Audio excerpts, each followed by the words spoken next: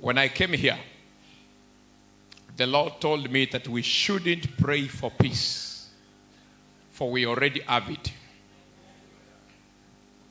That what we need to do is to have the devil out of the country. That we scatter and destroy his schemes. That is exactly what we have done in Jesus' name.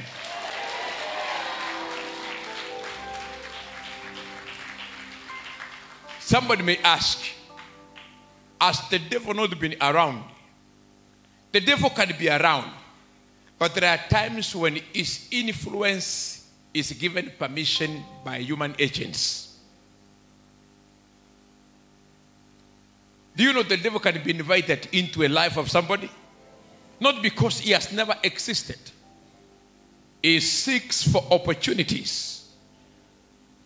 Like now, he was given an opportunity to get to Kenya on Wednesday.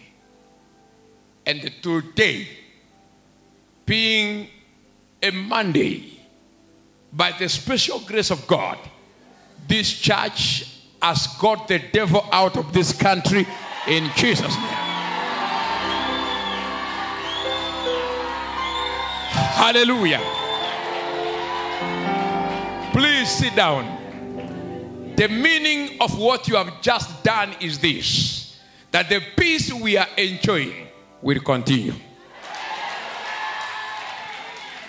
Hallelujah. Sometimes when you look at the crisis, you wonder whether you can stop it or you can avert it.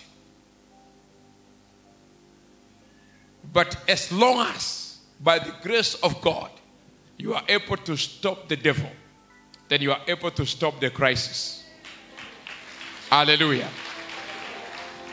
I ask of you not to pray for peace, but continue resisting the enemy.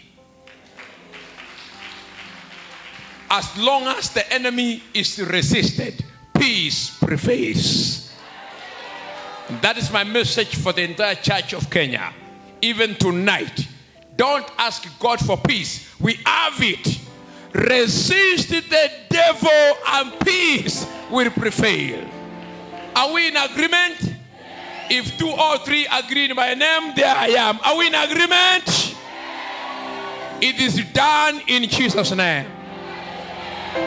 Hallelujah.